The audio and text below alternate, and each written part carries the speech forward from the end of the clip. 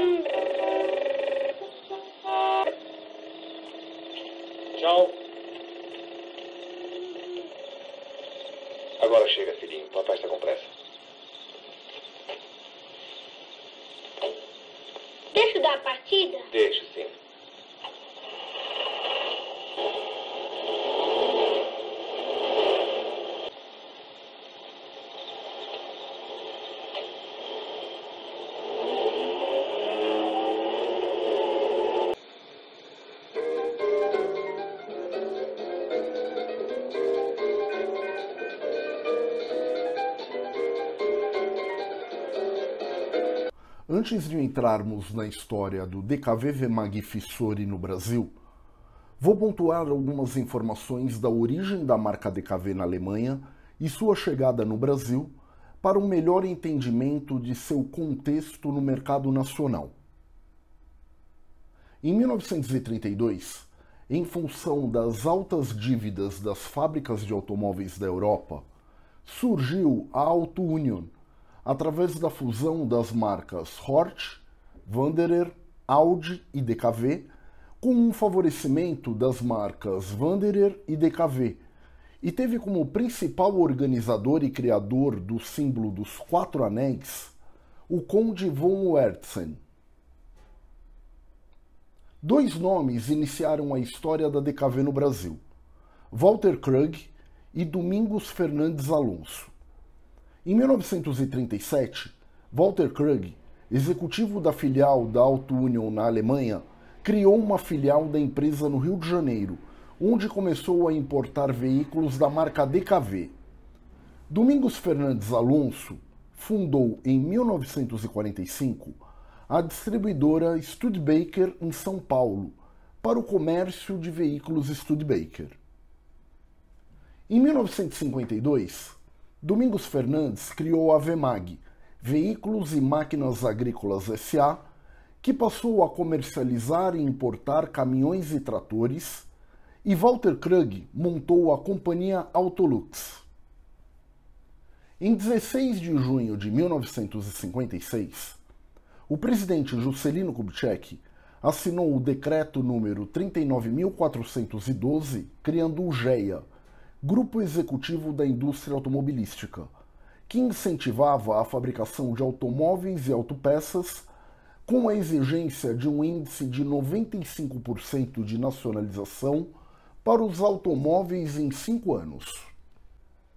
Em fevereiro de 1955, acompanhando as dificuldades da Autolux de Walter Krug em importar da Alemanha veículos DKV, Domingos Fernandes negociou a importação de maquinário e ferramental da Alemanha da perua Sonderklasse Kombinavagen Universal F91, fabricada entre 1953 e 1955, e em agosto de 1956, o processo da VEMAG no GEA foi aprovado, o que permitiu o início da montagem do DKV VEMAG no Brasil.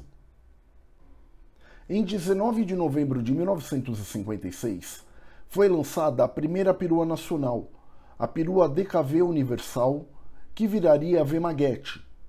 Em 1958, chegou o Jeep Candango, e também começou a ser produzido, em outubro, o DKV Sedan, que viraria o DKV Belcar.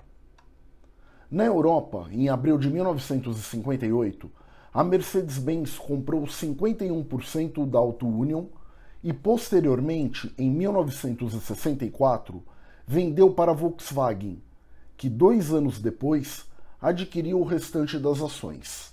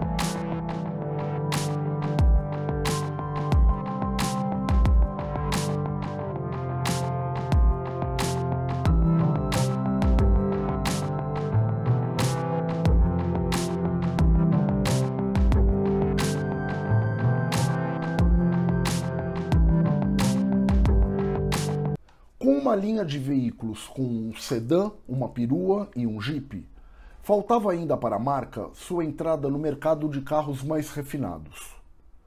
Então, no Salão do Automóvel de 1962 em São Paulo, foi apresentado um protótipo feito na Itália do DKV Fissori, que seria comercializado efetivamente a partir de 28 de junho de 1964, com algumas alterações em relação a esse protótipo. O nome Fissori veio da Carroceria Fissori, empresa que surgiu em 1920 na cidade de Savigliano, na Itália, onde Giovanni Fissori e seus três irmãos começaram a produzir carrocerias e equipamentos e se destacava pela qualidade de seus produtos. No início dos anos 60, a empresa resolveu expandir industrialmente através da sua internacionalização. Nessa época, Giusto Fissori veio ao Brasil para cuidar pessoalmente para a implantação do DKVV Mag Fissori por aqui.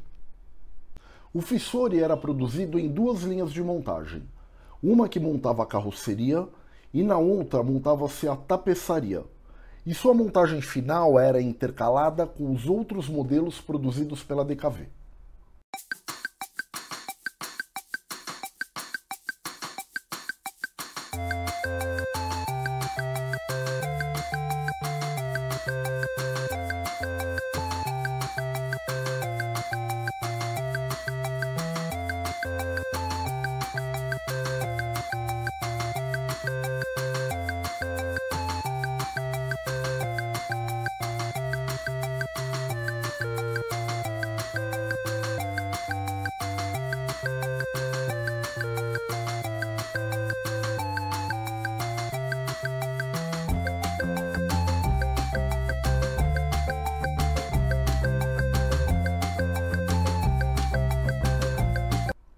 O Fissori trazia um elegante desenho feito na Itália e exclusivo para o Brasil.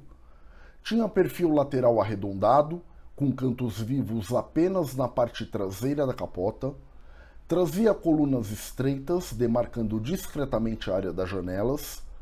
Bocal de acesso ao tanque de combustível na lateral com tampa e vinha com um friso reto em toda a lateral a meia altura.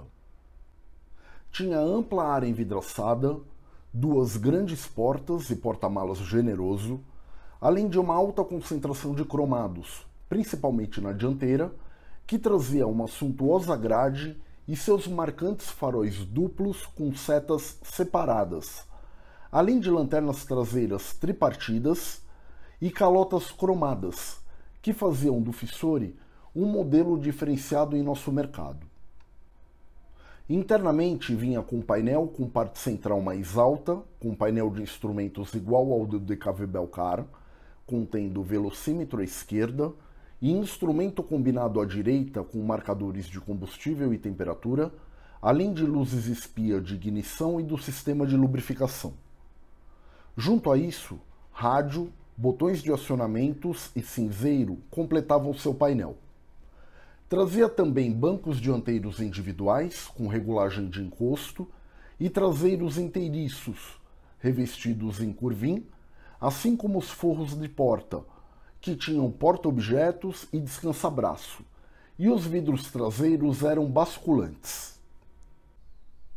O Fissori vinha com um motor de 981 cm3, com três cilindros de dois tempos, com 60 cavalos e 9 kgfm de torque brutos, mesmo motor do DKV Belcar, com alterações nas janelas de admissão e escape e na taxa de compressão, que foi alterada de 7,5 para 1 para 8 para 1, além da utilização de um carburador descendente Brosol 40 CIB, com giclê principal 135, giclê de combustível de marcha lenta G50, corretor de ar da marcha lenta 1,7, corretor de ar principal 110, giclê de combustível do afogador 160, corretor de ar do afogador 3,5, Venturi 32, emulsionador 46, agulha da boia 1,5 e parafuso de ajuste da mistura da marcha aberto 4 a 5,5 voltas, além do sistema elétrico de 6 volts e filtro de ar especial, e tinha tração dianteira e transmissão de quatro marchas. Sua suspensão vinha com feixes de molas transversais, com fitas de polietileno em conjunto com amortecedores telescópicos de duplação e freios hidráulicos nas quatro rodas, duplex na dianteira e simplex na traseira, com a opção de freio a disco na dianteira, importado, da marca Alfred Teves.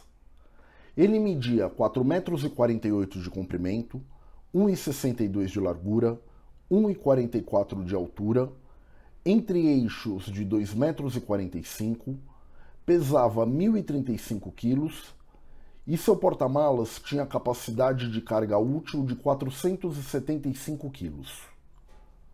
O Fissori foi o primeiro DKVV MAG a oferecer o sistema Lubrimate, que fazia com que não fosse mais necessário adicionar óleo junto ao combustível no tanque, pois passou a ter um reservatório de óleo junto ao motor facilitando a operação, aumentando assim a vida útil do motor reduzindo seu consumo de óleo e a emissão de poluentes. O medidor de combustível recebeu uma luz de advertência da reserva de óleo do lubrimate. O botão de afogador também recebeu uma luz indicativa de operação e o radiador foi redimensionado, permitindo melhor refrigeração do motor.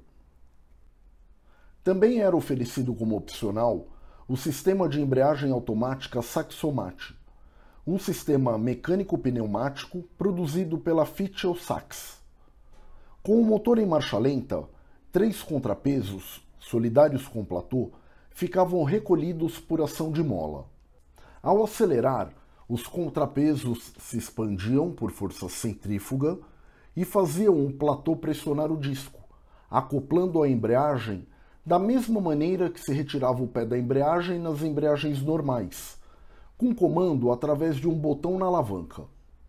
Em função do alto custo, cerca de apenas 10 carros DKV saíram com esse sistema.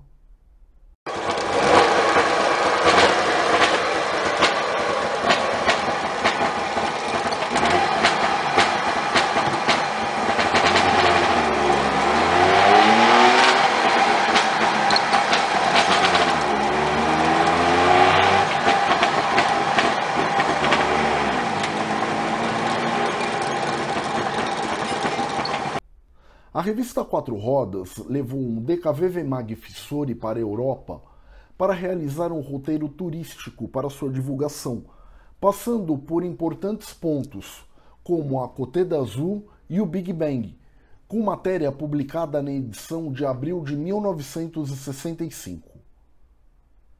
Em meados dos anos 60, a Vemag ficou sem capital de giro em função da alta inflação da época e suas vendas despencaram. Seu alto grau de endividamento e a quantidade de carros em estoque levaram a tentativas de realização de parcerias com empresas como a Fiat, a NSU, a Citroën e a BMW, além da matriz da Volkswagen.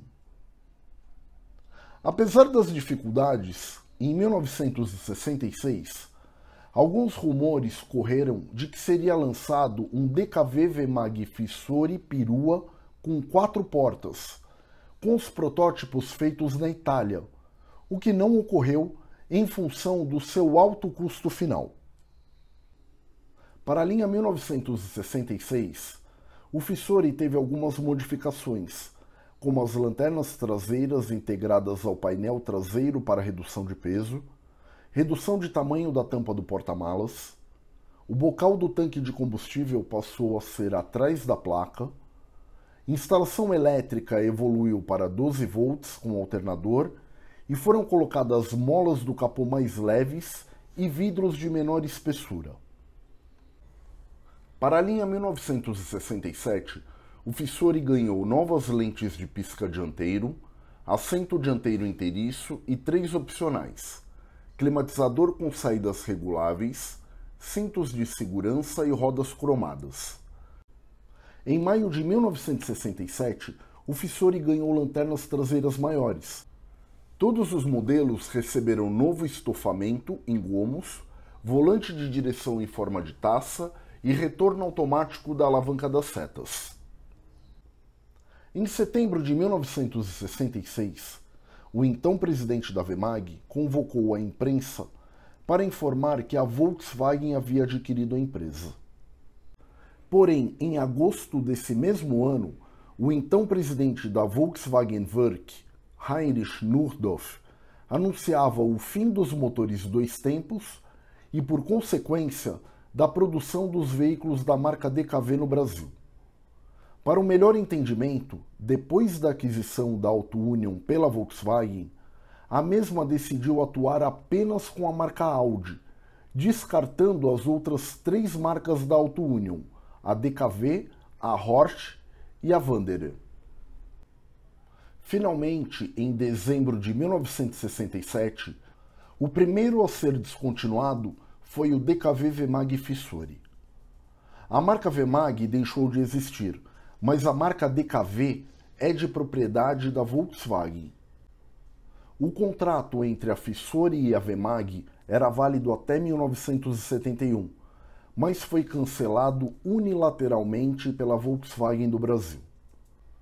Foram produzidos até o final de 1967 2.489 unidades do DKV Mag Fissori, que entraram para a história da indústria automotiva brasileira como um dos mais bonitos e elegantes automóveis produzidos no Brasil na época.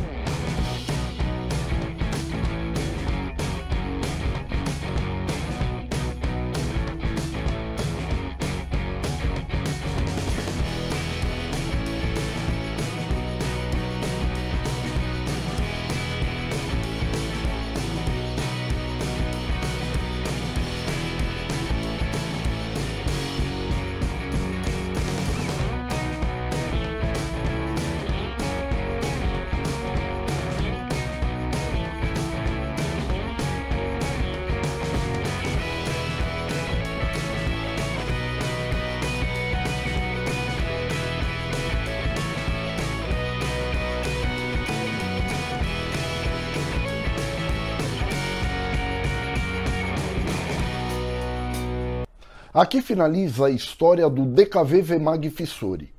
Compartilhe o vídeo, não deixe de se inscrever no canal, deixar seu comentário e acompanhar as nossas redes sociais. Na semana que vem eu volto com uma nova história. Até lá!